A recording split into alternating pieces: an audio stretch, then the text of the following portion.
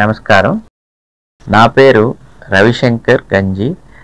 నేను మణిపాల్ హాస్పిటల్ విజయవాడలో consultant urologist andrologist kidney transplant surgeon మరియు రోబోటిక్ సర్జన్గా ఉన్నాను.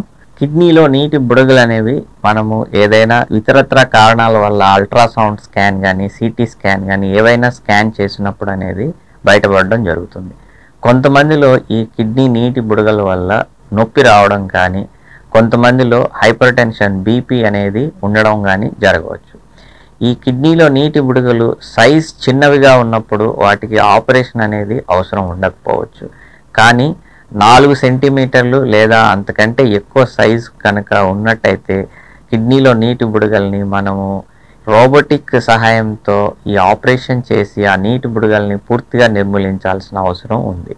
ఈ robotic assisted renal cyst deroofing or marsupialization అనే ఆపరేషన్లో స్మాల్ కీ హోల్స్ ద్వారా పొట్టలోకి వెళ్ళి ఆ కిడ్నీ మీద ఉన్న నీటి బుడగల్ని పూర్తిగా నిర్మూలించి కట్ చేసి రిమూవ్ చేయడం అనేది జరుగుతుంది. ఈ సర్జరీ ద్వారా ఈ నీటి బుడగలు రిమూవ్ చేసిన తర్వాత బీపీ ఉన్న వాళ్ళలో హైపర్ టెన్షన్ ఉన్న వాళ్ళల్లో కంట్రోల్ బీపీ కంట్రోల్ అనేది బెటర్గా ఉంటుంది.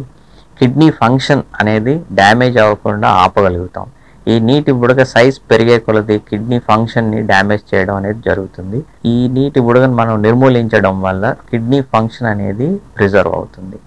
సో ఇది మైనర్ ప్రొసీజర్ లాగా చేయొచ్చు మనము రోబోటిక్ సహాయంతో. Within twenty four hours నార్మల్గా డిశ్చార్జ్ అవ్వచ్చు.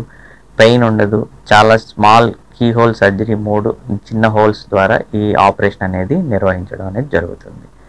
సో కిడ్నీలో నీటి బుడగల్ని అశ్రద్ధ చేయకూడదు.